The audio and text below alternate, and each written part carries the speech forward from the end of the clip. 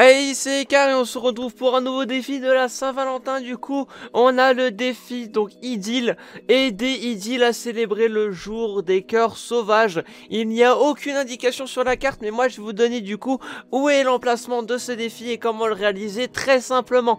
Du coup, avant toute chose, les potos, n'oubliez pas de vous abonner et à liker cette vidéo, les potos, et mettez un petit code créateur Bokuni si vous voulez nous soutenir dans la boutique Fortnite. Merci à tous ceux qui le feront.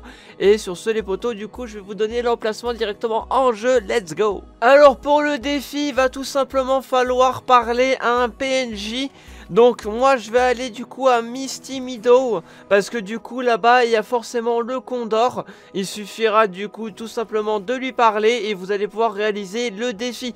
Mais attention les potos, il peut... Donc ce, défi est réalisable très facilement parce que vous pouvez parler à n'importe quel PNJ. Ça fonctionnera forcément, d'accord? Alors du coup moi je cherche le Condor et après on va pouvoir du coup lui parler et ça réalisera le défi. Donc voilà on peut voir il est juste en bas.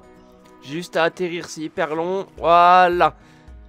Alors, une fois qu'il y a ça, donc on va faire donner la carte et du coup, ça validera le défi.